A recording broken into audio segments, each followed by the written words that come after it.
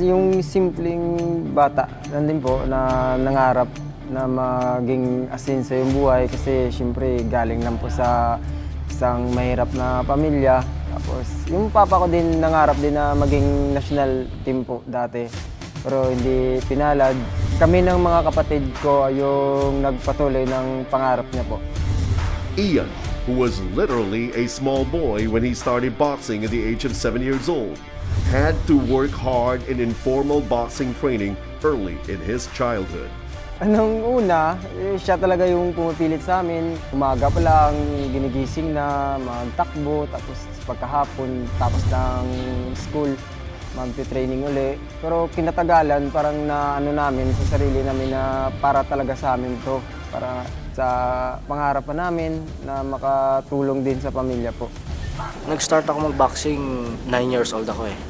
Gusto ng papa ko kasi yun talaga na maging boxer ako kasi dati nung maliit pa ako, sinasama niya ako sa mga nagiinuman sila, mga kaibigan niya. Tapos ginagawa niya ako, sinasabihan niya ako, oh mag-shadow boxing ka. Hanggang yun, hanggang natuloy-tuloy na, nag-boxing na ako. Nung elementary ako, naglipat ako sa ibang sports, nag-taekwondo ako. Tapos bumalik din ako sa boxing. Like James, Rogen Ladon from Cagayan de Oro fell in love with another sport before taking up boxing. grade 6 ako. Hindi boxing yung sinasalihan ko na sports. Naglalaro kasi ako dati ng volleyball, takbo. Kumbaga may kapatid kasi akong athletics din dati na naglalaro ng shot put. So naglalaro din siya ng volleyball.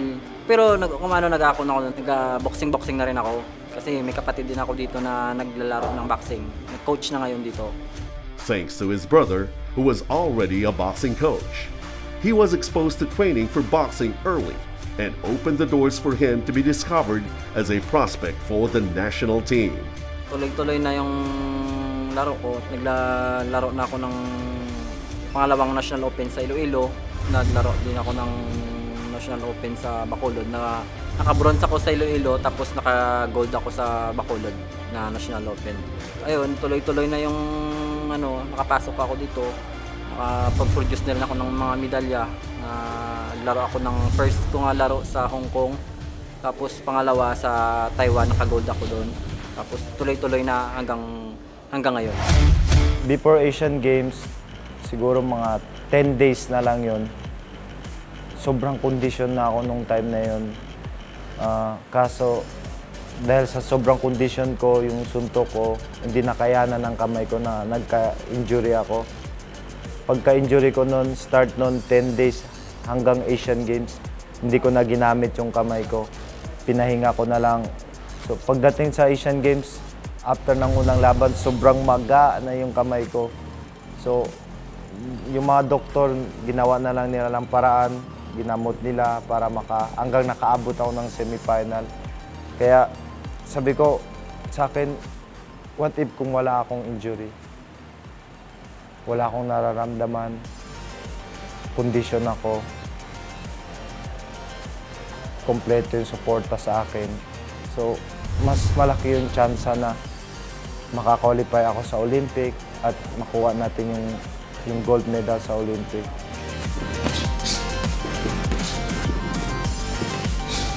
However, this did not stop Yumir from working hard in training.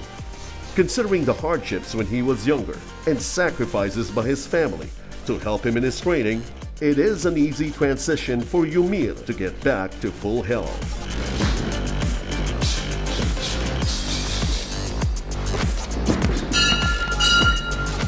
Nung nakapasok na ako dito sa national team, nakabigay ako ng karangalan sa bansa, nakabigay ako ng medal, nakakatulong ako sa kanila.